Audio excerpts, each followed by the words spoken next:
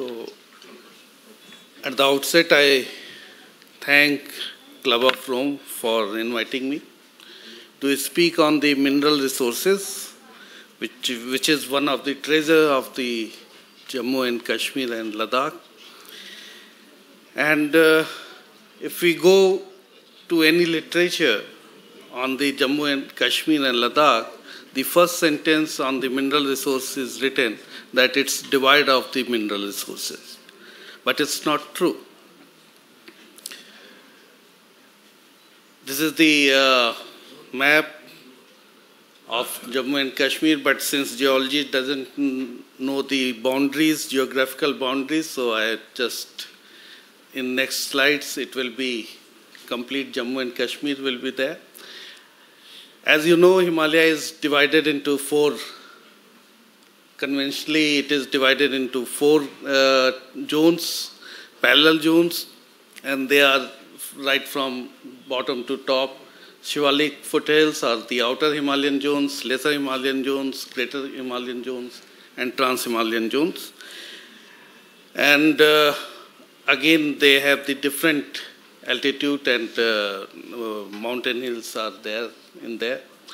All these uh, mountains are present. But in Jammu and Kashmir, all the four zones are available. Particularly in Ladakh, you have the three and four zones. The first two zones are not there. But in Jammu and Kashmir, all the four zones are there. This is about the geology. Geologically, also, UT of Jammu and Kashmir and UT of Ladakh, they preserve almost complete geological succession, succession from right from Proterozoic, that is the oldest kind of rock, to the recent kind of rocks. They have, and we are fortunate that we have such complete geological sequences. And this is one region that uh, the scientists from all over world comes to these areas to do research. And uh, again, because we are talking about the uh, capitals, this is also one of the region where the geotourism can be promoted in this particular area. And uh, Ladakh is one very good example because there you have the evidences of the collision of the Indian plate with the Eurasian plate, and uh, people come to see that particular zone.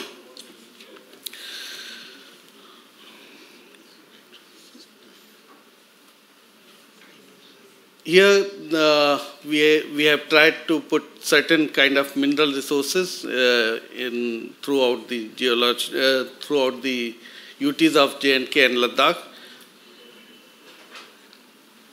See, uh, when we say that uh, Jammu and Kashmir or the uh, Himalayan states are devoid of mineral sources.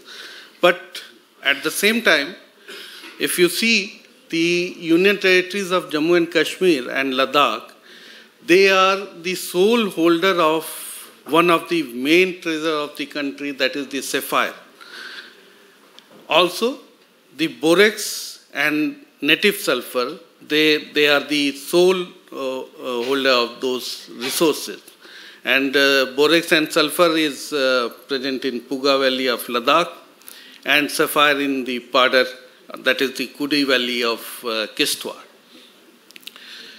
Also, the coal deposit, that is the tertiary coal deposit, the only semi-anthracite kind of coal are available in Jammu.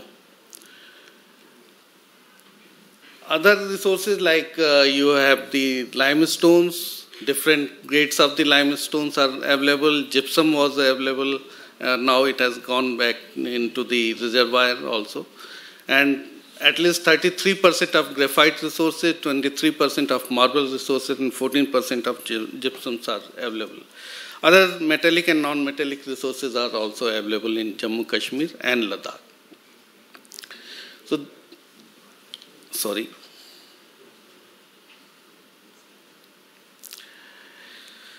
But when we come to the production side, uh, this is the recent data published in November 2019 about the production. And the uh, limestone uh, is produced from Jammu and Kashmir, and then 89% of the production in terms of the rupees, uh, in terms of the money, comes from the minor minerals. So even very good deposits are available, but they are not being mined. Uh, we will talk about that, why they are not being mined. There are very few mineral-based industries, mostly on the cement basis. Cement industries are there. Some, cal sorry, some calcium carbide industry is also available. And now we talk about the uh, sapphire deposit. That is the uh, very good quality of the sapphire is available in uh, Jammu, Jammu and Kashmir in the Padar area that is in Kishtwar district. This sapphire is uh, such a beautiful sapphire that uh, a generic name has been given and that generic name is the Kashmir sapphire. In gemstone industry, this generic name becomes very important. Why it is important? Because certain gemstones are uh, become very, very costly if they have a particular origin from a particular deposit if they are present. All the uh, sapphire from other part of the world like uh, Myanmar, Sri Lanka, Brazil, if they have good color, blue color, velvety blue color, they are being sold as the Kashmir sapphire. But in, uh, so this is uh, the sapphire and uh, it is known, uh, you will be surprised that it, it is known to us for last hundred years. But somehow the real exploration data is not available.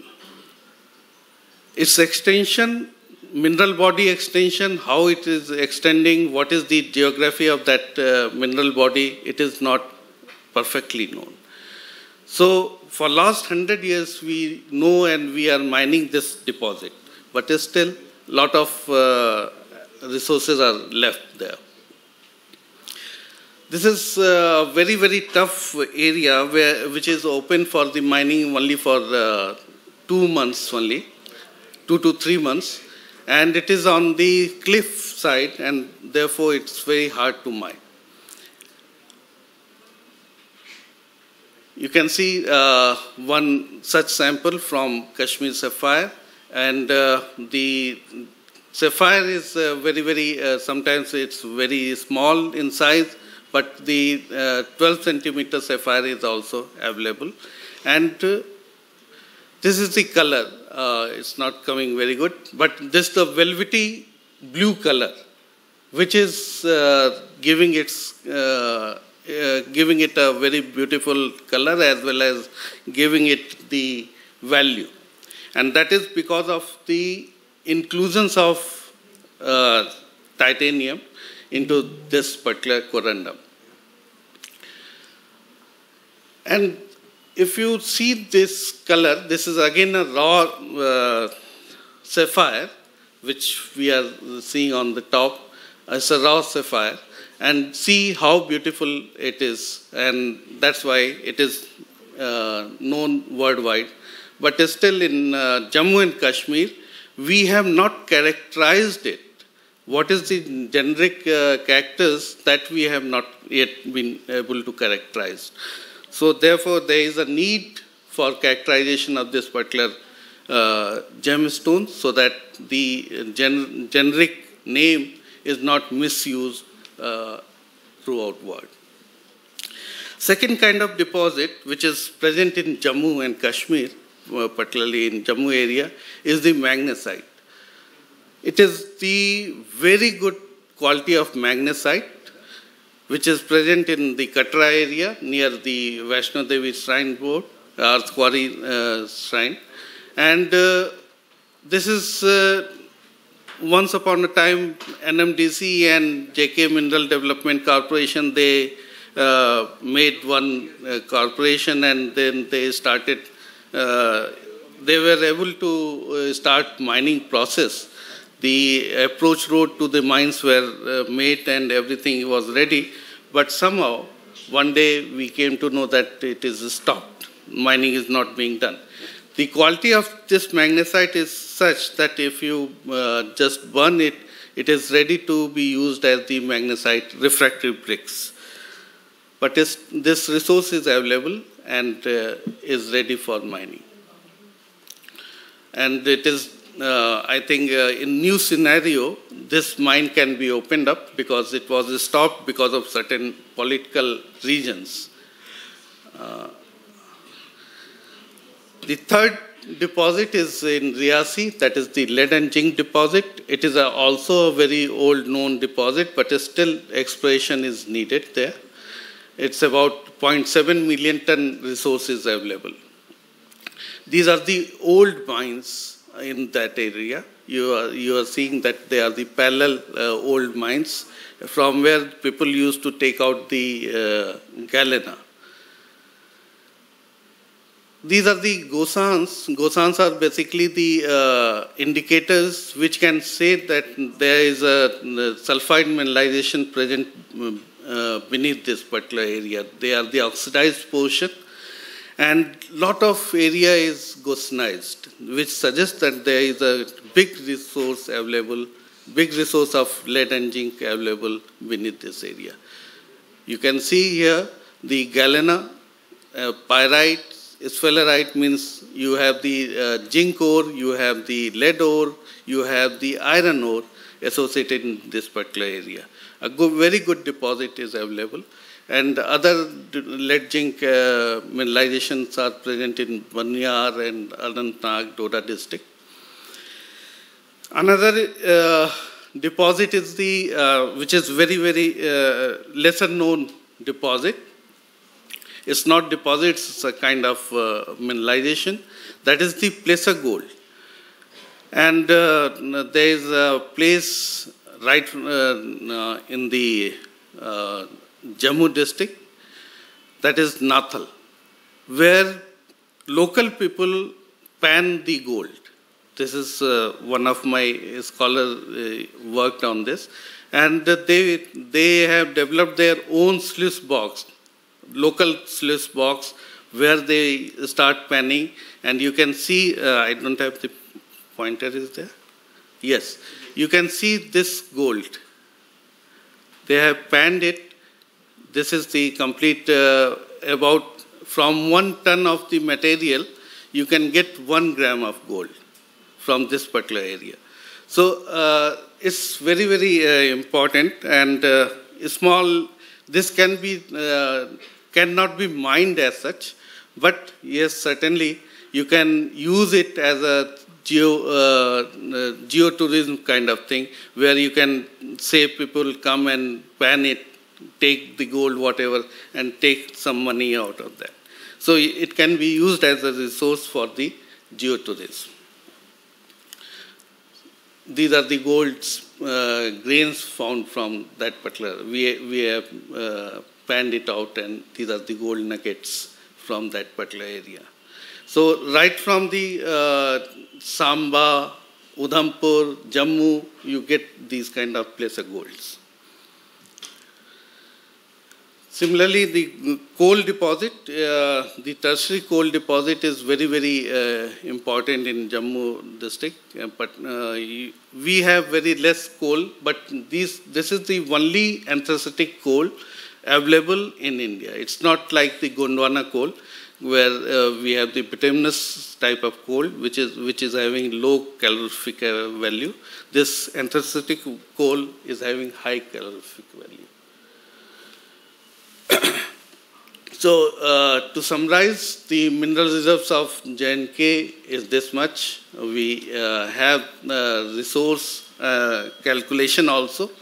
But if you see the calculation, the proved reserve calculation is very less. Only for limestone and magnesite we have been able to have the proved reserves, but otherwise we are having the indicated reserves only. So bauxite we have indicated reserves. These gaps have to be filled up. And this, is, this can be done only when you have the enough exploration activities in these areas. Minor minerals, we have bentonites, gypsum, marble, granite uh, can be used as the dimensional stones, quartzites, and silica sands. So all these uh, minerals are available for the mining. Similarly, in Ladakh, if we talk Ladakh, Ladakh we have the native sulfur, which is the only uh, resource available uh, in India. Similarly, borax, the only resource of borax is available in Ladakh. And other uh, fluorite and magnesite, they are the minor uh, resource available. Minor minerals also, uh, it's available in uh, Ladakh for mining. These are the native sulfur deposits from the Puga Valley.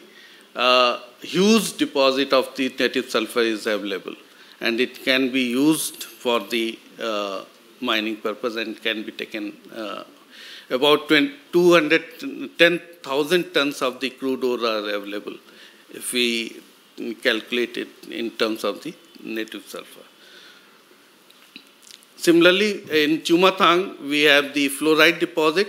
Uh, this is the fluorite deposit of Chumathang, which can be used locally. Uh, there are about 20 veins of the fluorite present in Chumathang. So, to summarize, uh, these are the resource available, mineral resource available in uh, Jammu and Kashmir and can be used for the further capital uh, generation. Thank you very much.